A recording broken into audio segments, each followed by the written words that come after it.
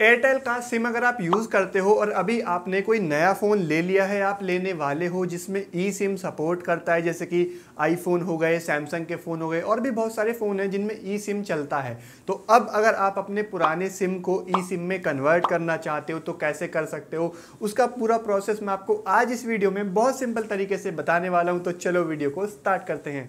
अब देखो, आप अपना एयरटेल का फ़िज़िकल सिम ई सिम में कन्वर्ट करना चाहते हो तो उसके लिए सबसे इंपॉर्टेंट चीज़ है आपका जीमेल आपका जो जीमेल आईडी है, वो एयरटेल के पास रजिस्टर होना चाहिए। अब आपको कैसे पता चलेगा कि भाई आपका जो जीमेल आईडी है, वो एयरटेल के पास रजिस्टर है कि नहीं है? और अगर रजिस्टर नहीं है तो फिर उसको रजिस्टर कैसे करें?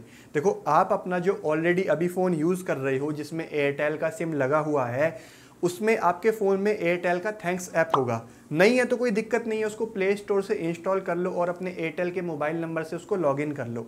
अंदर आप जाओगे प्रोफ़ाइल सेक्शन में एग्ज़ाम्पल आप यहाँ पे देख सकते हो स्क्रीनशॉट प्रोफ़ाइल सेक्शन में आपको दिख जाएगा कि आपका जीमेल वहाँ पे रजिस्टर है कि नहीं है। इस वीडियो से पहले मैंने भी अपना चेक किया था, मेरा भी जीमेल रजिस्टर नहीं था, मैंने वहाँ पे रजिस्टर किया। जब आप प्रोफ़ाइल सेक्शन में जाओगे, वहाँ पे देखोगे जीमेल रजिस्टर है कि नहीं है।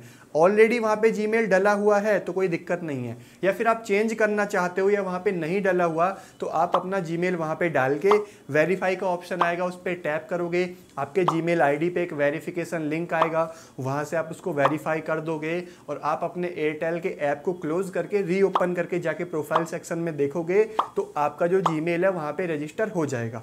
अब इन केस कोई प्रॉब्लम आ जाती है, कई बार ऐसा हो जाता है कि यहाँ से जीमेल रजिस्टर करने पे आपका जो जीमेल है, वो अपडेट नहीं होता एरर आ जाता है, यानी कि एयरटेल की ऐप से वो अपडेट नहीं हो रहा है।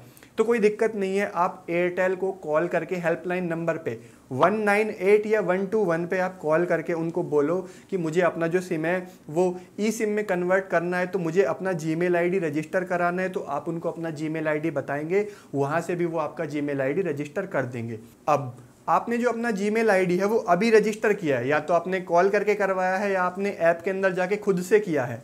तो आपको 24 घंटे का वेट करना चाहिए। क्यों? क्योंकि देखो, अभी आपने अगर अपना जी मेल अपडेट किया है तो वो एयरटेल के सिस्टम में अपडेट होने के लिए 24 घंटे लग जाते हैं। ऐसा मैंने एक्सपीरियंस किया है। मैंने एक दो सिम एयरटेल के कन्वर्ट किए थे। ई सिम में तो अगर आपने अभी अपना जी मेल रजिस्टर किया है तो आप चौबीस घंटे का कम से कम वेट कर लो। ऑलरेडी पहले ही रजिस्टर था तो अभी मैं आपको आगे प्रोसेस बताने वाला हूँ कि कैसे ई सिम में कन्वर्ट करना है। लेकिन अगर आपका जो जी मेल है अभी रजिस्टर किया है तो चौबीस घंटे का वेट कर लो। उसके बाद वो प्रोसेस करना। अब प्रोसेस क्या है? तो आपको एक एसएमएस करना है। क्या एसएमएस करना है? वन टू वन पे आपको ई सिम लिख के स्पेस अपना जो जीमेल आईडी आपने एयरटेल से रजिस्टर करवाया है, वो जीमेल आईडी आप लिख के वन टू वन पे सेंड कर दोगे।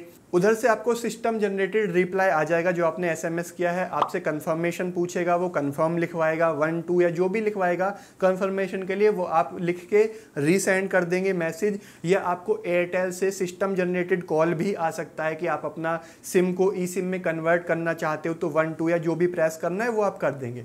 उसके बाद क्या होगा, कुछ टाइम के अंदर ही आपके जो जीमेल आईडी है उस पर एयरटेल की तरफ़ से क्यूआर कोड आ जाएगा। जिस क्यूआर कोड के थ्रू आप अपने फ़िज़िकल सिम को ई सिम में कन्वर्ट कर सकते हो। अब आपको करना क्या है जब आपके जी मेल पे वो एयरटेल की तरफ़ से क्यूआर कोड आ जाएगा तो जो भी आपका नया फ़ोन है आईफोन है सैमसंग का है जो भी फ़ोन है आप उस फ़ोन की सेटिंग में जाएँगे। सेटिंग में जाने के बाद सिम कार्ड का ऑप्शन आता है या कनेक्टिविटी का जहाँ भी ऑप्शन आता है वहाँ पे ई सिम का एक, आपको एक ऑप्शन मिलेगा।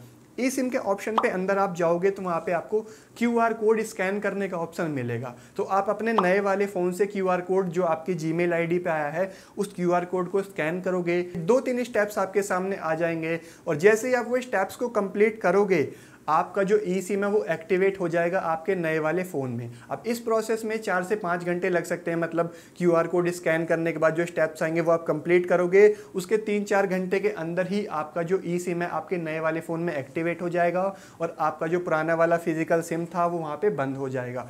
तो ऐसे आप अपने पुराने एयरटेल के फ़िज़िकल सिम को ई सिम में कन्वर्ट कर सकते हो। तो ये सिंपल सा प्रोसेस है।